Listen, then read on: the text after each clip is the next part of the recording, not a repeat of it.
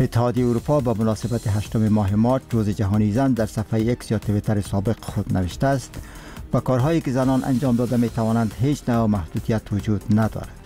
اتحادیه اروپا افزوده است که همکاران آنها در افغانستان و جهان ارزش برابری حقوق و فرصتها برای زنان را درک می کنند از روز جهانی زن در حالی تجلیل می شود که حکومت طالبان در افغانستان زنان و دختران را از کار و تعلیم محروم ساختند.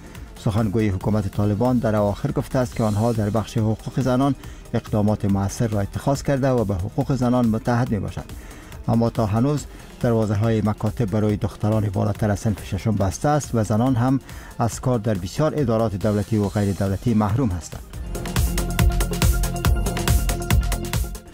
حامد کرزی رئیس جمهور سابق افغانستان به مناسبت هشتم ماه مارچ روز بین المللی زن در یک پیام در صفحه فیسبوک خود بار دیگر از حکومت طالبان خواسته است که دروازه های مکاتب و پهنتون ها را برای دختران باز کند. به گفته آقای کرزی پیشرفت افغانستان با مشارکت بامعنی مردان و زنان ارتباط دارد.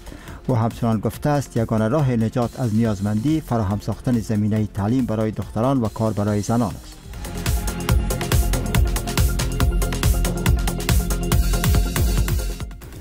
رئیس شورای عالی مصالحه ملی در نظام قبلی جمهوریت در افغانستان عبدالله عبدالله هم امروز به مناسبت روز جهانی زن در صفحه اکس یا تویتر سابق گفته است که زنان افغان در چهار دهه گذشته قربانی های بزرگ را متحمل شدند.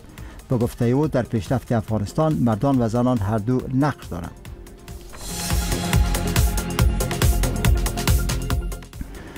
تجار افغانستان در ملاقات با نماینده خاص هندوستان خواستند که در دادن ویزای سفر به هند با آنها سهولت ایجاد شود. خبرگزاری باختر تحت کنترل طالبان امروز 8 مارچ در صفحه ایکس تویتر سابق خود نوشته است که در این ملاقات تجار افغانستان با جی پی سینگ که در وزارت خارجه افغانستان صورت گرفت در مورد افزایش صادرات و واردات بین هند و افغانستان و سهولت های ویزا برای تجار افغان بحث شد.